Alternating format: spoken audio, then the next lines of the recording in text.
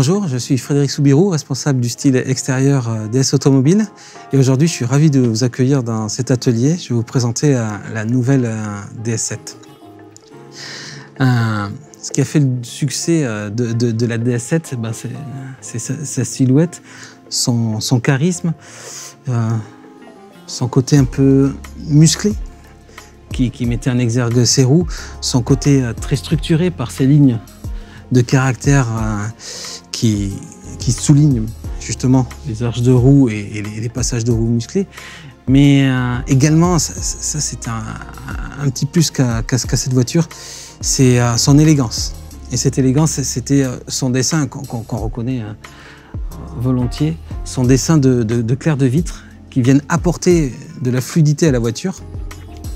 Et ce dessin qui vient même jusqu'au bout souligner cette carte qui part et qui continue à dessiner la, voiture qui continue à l'étirer, qui continue à, l'amener jusqu'à l'arrière, jusqu'au centre de l'arrière pratiquement. Aujourd'hui, je vous présente, euh, on va dire, les nouveautés de la voiture. Donc, ce qu'on a sursouligné pour que son caractère soit encore plus charmeur, on a affiné les proportions des phares pour lui donner encore plus de largeur perçue.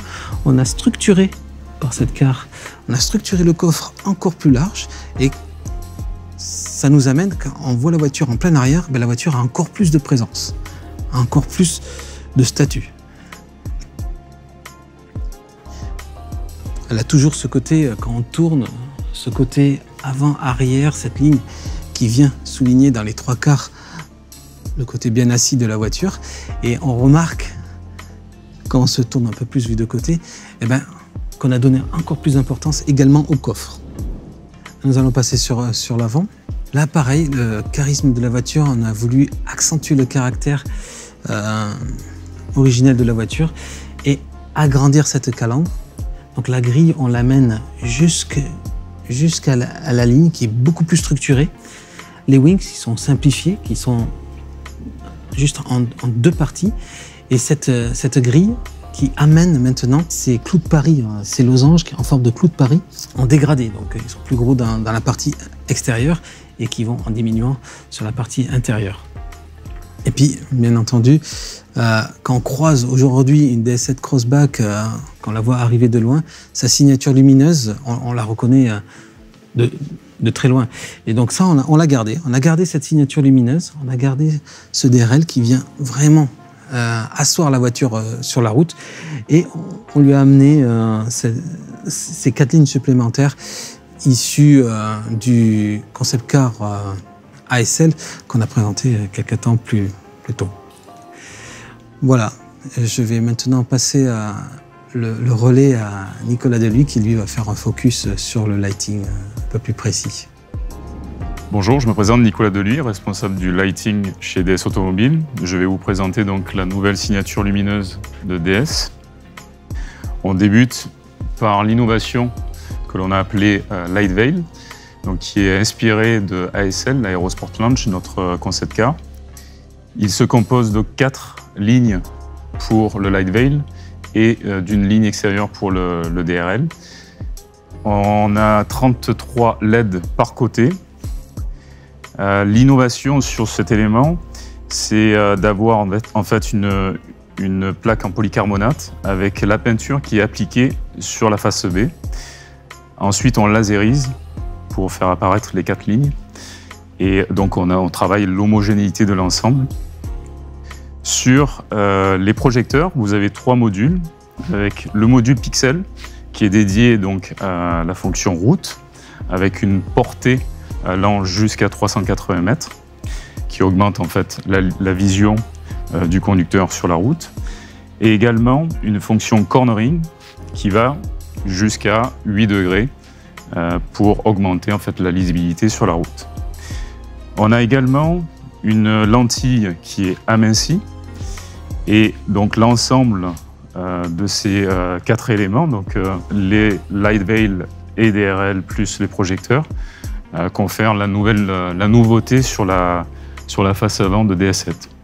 Je vous invite à passer sur l'arrière pour découvrir la nouvelle signature à écailles. Donc, euh, une, une signature qui est déployée donc, sous un effet vortex. Donc, on a une complexité dans la forme avec un élément concave, avec la verrine qui est en forme, qui est étiré donc, sur toute la largeur du véhicule, avec DS automobile en 3D. Et on a aussi également aminci euh, les feux à l'arrière. Donc euh, voilà, l'ensemble est homogène, encore une fois, avec euh, un rouge très présent et une qualité, une homogénéité sans précédent sur, sur la voiture. Je vous propose de passer sur le côté de la voiture avec une proposition de jantes donc allant du 18 pouces à 21 pouces sur le véhicule actuel, vous avez la nouvelle proposition pour une 19 pouces avec un effet de diamètre qui a été travaillé. Au niveau du dessin de la jante, vous avez euh, un effet de diamantage qui part du fin au plus large. On a également travaillé l'aéro avec des inserts qui sont proposés soit en noir brillant, soit en noir pailleté. Et puis il y a un nouveau dessin euh, de 21 pouces qui est proposé exclusivement sur la 360 Perfo. Voilà. Ceci vous fait un petit peu le tour de l'ensemble de la signature de la nouvelle DS7 et je vous remercie de votre attention. Bonjour, euh, bienvenue dans l'univers euh, couleur et matière de nouvelle DS7. Donc, je suis Gwenaëlle Poulet, designer couleur et matière qui est euh, créé et développé les nouveaux aspects que vous allez découvrir à présent. Je vous propose de commencer par les nouveautés intérieures pour ensuite évoluer vers les euh, nouveautés euh, extérieures. Donc pour euh, DS7 nouvelle version, nous avons voulu pousser le curseur un petit peu plus loin et vous présenter vraiment le meilleur de notre savoir-faire français. Donc je vais débuter par l'intérieur opéra. Donc l'intérieur opéra, c'est vraiment notre intérieur phare. C'est l'intérieur sur lequel nous avons cherché à vous proposer de nouvelles finitions plus audacieuses. Donc je vais vous montrer donc ici la première partie là, ça a été vraiment en fait notre premier travail de recherche créative. Donc au départ nous sommes plutôt partis sur un travail euh, autour du plissé et cuir euh, que nous avons décliné dans différentes euh, versions. Nous avons également recherché à comment on pouvait transposer en fait la confection de bracelets de monte iconique de nos intérieurs opéra sur un décor de planches de bord et de panneaux de porte. Donc ici voilà différentes itérations. Euh, finalement, nous avons vu dans ces propositions une certaine complexité et nous avons voulu plutôt proposer quelque chose de plus pur, plus moderne, plus seamless. Donc c'est les décors au final que vous retrouvez ici. Donc ce sera du coup de l'embossage. Donc nous avons travaillé un nouveau graphisme de lignes très fluide, très précise. Donc euh, là, l'embossage, euh, il est procédé par, par, du marquage à chaud de la matière euh, cuir. Donc vous voyez en fait ici, ça va être vraiment l'outil en laiton qui vient appuyer et, la matière cuir nappa. Et donc là, je vais vous présenter donc, les nouveaux décors dans les deux coloris. Donc nous avons le coloris gris perle nouveau coloris euh, intérieur présent euh, complètement dans le niveau opéra. Il se décline aussi également ce décor sur euh, un intérieur noir basalte. Donc là, ce qui est aussi intéressant à voir, c'est que là, vous avez vous retrouvez en fait les empiècements avant gainage, donc de planches de bord et de panneaux de porte. Et ici, les premières pièces série de notre fournisseur. Nous avons également conservé tous les éléments iconiques de nos intérieurs, donc à savoir un volant euh, en cuir fleur avec son cover d'airbag gainé cuir et surpiqué. Euh, présent également donc le DS euh, que vous allez retrouver du coup sur l'avant de nos appuis-têtes. Et également le clou de Paris, donc notre guillochage présent sur la partie console je vous propose maintenant de continuer avec les trois autres intérieurs présents à la gamme DS7. Donc euh, l'intérieur du coup Rivoli, qui est présent en coloris euh, noir basalte, donc qui est surpiqué et capitonné, hein, qui est associé du coup à une sellerie également donc euh, cuir en qualité de cuir Claudia. Donc ça va être vraiment un cuir qui va être plus marqué que le cuir Napa présent donc sur le niveau opéra. Ensuite, nous avons aussi l'intérieur euh, Performance Line. Donc là, on va rechercher quelque chose de plus dynamique. On a travaillé un coloris de microfibre Alcantara dans une teinte euh, plus sombre, plus intense, qui nous permet de jouer un effet plutôt monolithique dans cet intérieur et qui permet aussi d'accentuer en fait les ponctuels euh, colorés, donc le carmin et le gold. Et notre dernier intérieur, donc l'intérieur Bastille, donc un intérieur sans cuir, pour cet intérieur, nous avons retravaillé euh, donc, la toile DS avec un grain qui va être vraiment plus audacieux que les grains euh, typés cuir. Donc on s'est inspiré en fait de, du cuir en fait de poisson. Donc ici vous retrouvez en fait nos premières euh, inspirations. Donc on a vraiment voulu retranscrire le côté écaille, 3D, prise de lumière de ce, de ce cuir. Et donc vous voyez ici la retranscription euh, sur la toile. Donc ce décor euh, se trouve sur, les, sur la planche de bord, les panneaux de porte, également sur la console euh, étendue. Et cette toile sera associée du coup à une sellerie textile qui conserve la ponctuelle gold présente sur DS7, donc à savoir avec un textile donc, que nous appelons Peroudi, avec son accompagnement plus subtil en némésis. Je vous propose maintenant de découvrir nos nouveautés extérieures. Alors pour la partie extérieure, donc nous proposons deux nouvelles teintes euh, de caisse qui s'intègrent donc à la gamme de six teintes. Donc le bleu saphir, donc qui va être euh, un bleu dont nous avons travaillé une paillette euh, bleue qui va être plus saturée, plus lumineuse, qui va vraiment marquer les volumes de nouvelles DS7. Vous voyez en fait ici nos différentes itérations nous avons fait pour aboutir à la teinte présente ici. Nous avons recherché un bon équilibre entre euh, la taille de la paillette, la saturation, le flop de la teinte. Et sur la deuxième nouvelle teinte de caisse, donc le gris laqué, donc c'est un gris qui va être d'apparence euh, opaque, mais qui, lorsque la teinte va prendre la lumière, va ramener une micro nacre euh, plutôt gold qui va vraiment aussi ciseler, marquer euh, les volumes de la voiture. Donc qui ramène un côté ouvragé, euh, sophistiqué à une teinte qui va être d'apparence plutôt dynamique. nous avons également une nouvelle innovation donc phare sur l'extérieur, donc c'est le Light Veil. Donc ici, vous voyez, donc c'est des échantillons qu'on a travaillé donc avec notre fournisseur. Donc le challenge vraiment ici, ça a été euh, donc de transposer ce que euh, vous avez pu voir par nos concept cars, donc euh, ASL Aerosports Lounge et DSX E-Tense. Donc c'est vraiment la lumière qui va passer au travers de la teinte de caisse. Nous avons réussi à relever ce défi avec notre fournisseur expert. Euh, et donc le challenge a été vraiment de pouvoir euh, avoir le matching color avec deux technologies différentes. Il faut savoir qu'en fait sur la partie light veil, on vient apposer la teinte de caisse en envers d'une surface euh, plastique transparente.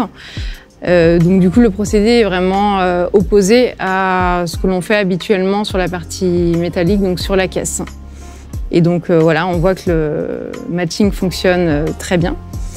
Pour la partie du coup euh, lignage, donc là on a travaillé pour être très précis une ablation au laser pour avoir ce côté vraiment euh, très pur et très précis.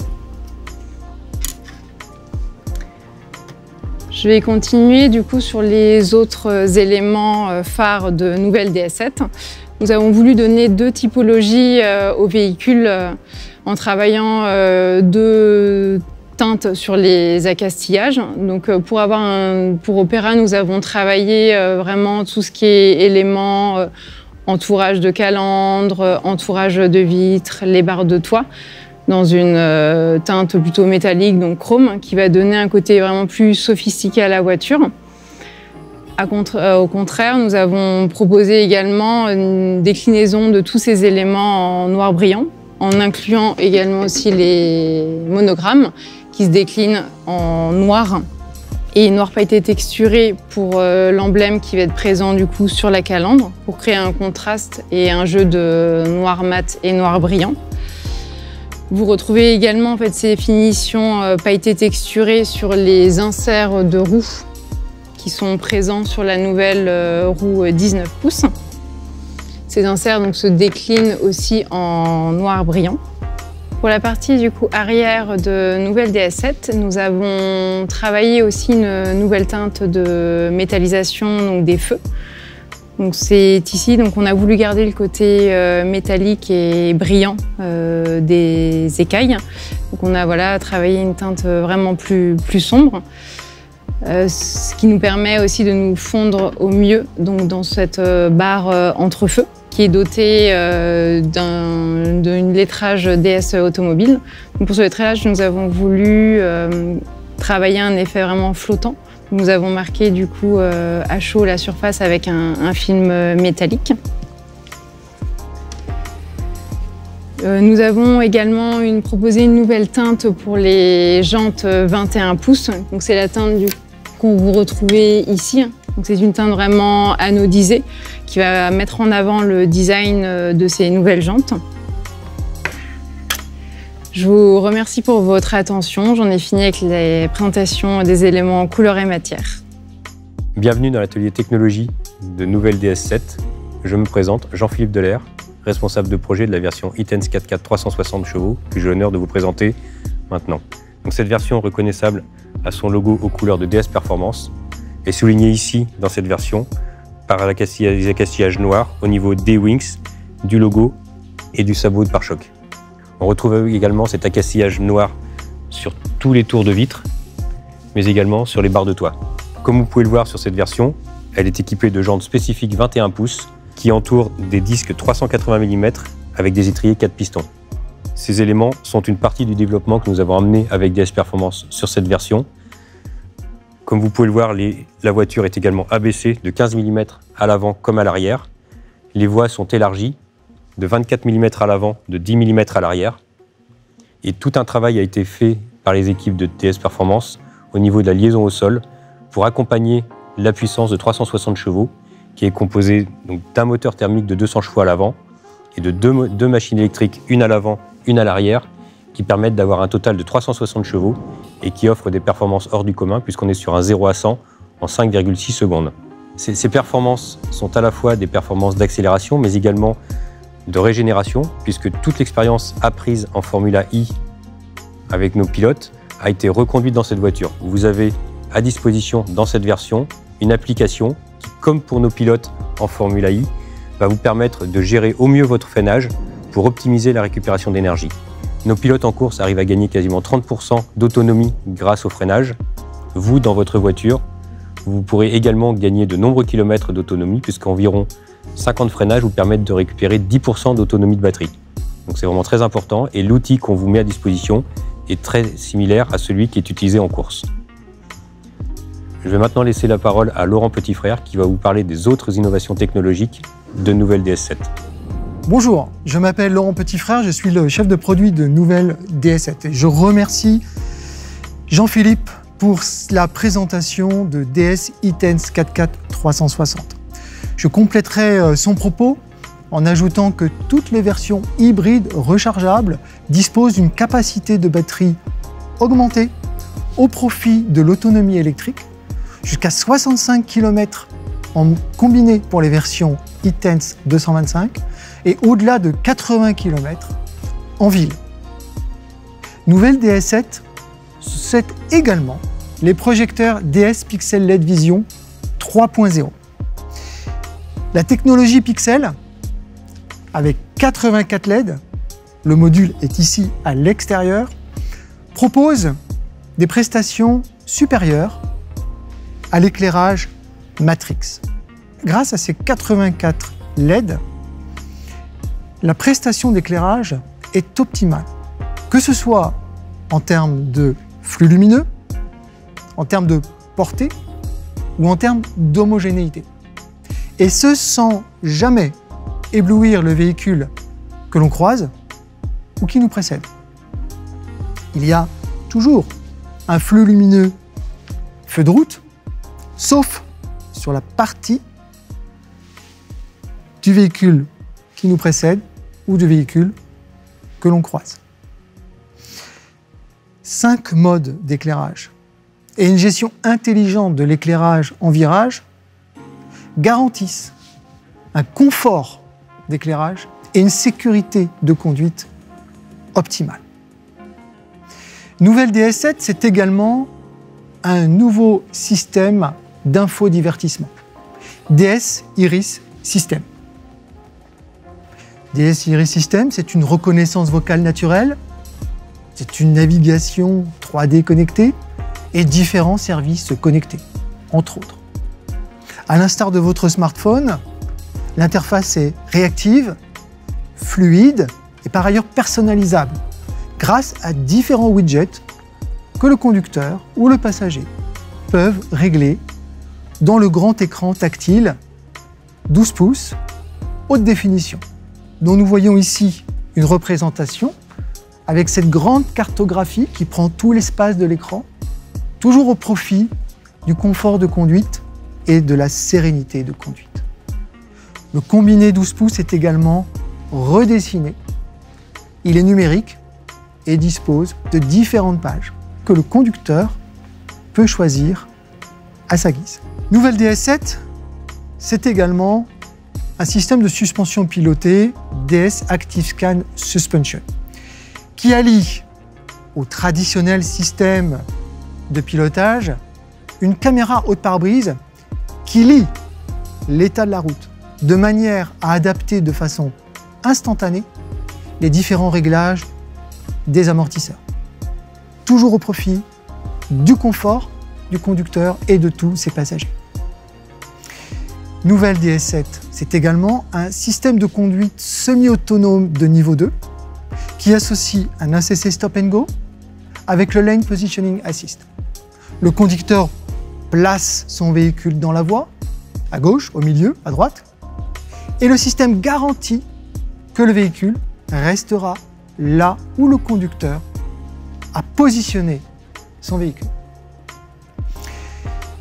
Nouvelle DS7, c'est bien entendu DS Night Vision, une caméra infrarouge qui permet de nuit de repérer tout risque d'un piéton, d'un cycliste, d'un animal qui traverserait la voie. L'image est projetée dans le combiné et des alertes avertissent le conducteur du danger potentiel. Nouvelle DS7 est également DS Driver Attention Monitoring. Cette caméra positionnée au niveau du volant qui surveille vos paupières et votre nuque de manière à détecter tout risque de fatigue ou de distraction.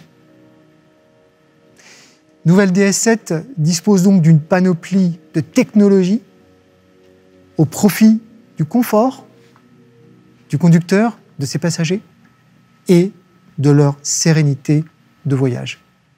Je vous remercie.